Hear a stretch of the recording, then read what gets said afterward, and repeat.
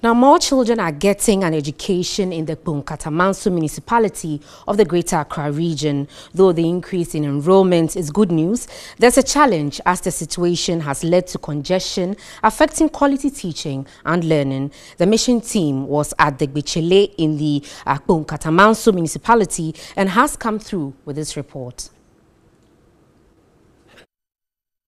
If you enter some of the classrooms, you can't be there for more than 10 minutes.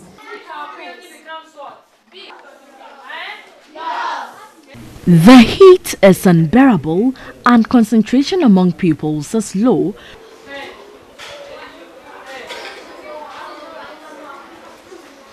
But the teachers here at the Gbetsile KKMA number 2 KG primary school are trying to make the best out of the situation. About 97 pupils are crammed in one classroom with only one teacher who has to move intermittently out of the classroom to receive fresh air.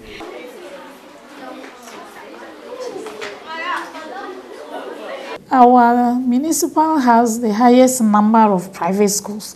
We have almost 380, but the public schools are less than 60. So if they can increase the number of public schools, they are really scattered. You get one here, you move far. If you go to Gbetsile, the whole of the Gbetsile community, including Kakasunanka and its environs, we have only one Gbetsile school. See, so if we can get another school, because people walk for long distances, that is another difficulty. Between Gbetsile and Apollonia, there is no school. So you can imagine they walk very, very far. Even we are compelled to make the junior high school also a shift school.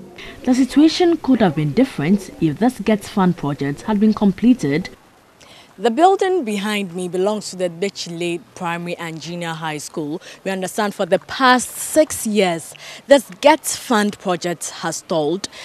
When completed, this would solve the numerous challenges that the school is confronted with. We sought answers from the municipal chief executive. When you work with trusted people, you always see success. It is a contractor who came to us and we negotiate and we went through the process. In the Gbetsile, the contractor came to me. He want iron rod. He went there, they gave him all the conditions. He never come back because I believe he is having a different thing in his mind. But we are ready to assist the contractors to the local manufacturers. We have cement companies here. We have iron rod companies here. We have the timber market within our municipality. Any building material needed, we can guarantee for a contractor. But you must sign a contract with us to your clients that whenever the, your monies are due, they will write a joint check. And some cannot come because they don't want to do what we feel is the best way to enhance their performance.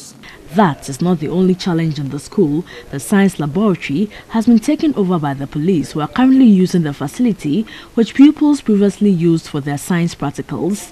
At the junior high school section, some teachers have their staff common room outside. Lack of fencing in the school makes it prone to theft. Weeks ago, some persons broke into the junior high school section of the school and made away with some school materials for teaching and learning. Authorities are hopeful the GETFund project will be completed quickly to solve the congestion problem the school is grappling with. And that's all for Mission tonight. Mission is brought to you by Star Ghana with funding from Danida, UKAID and the EU.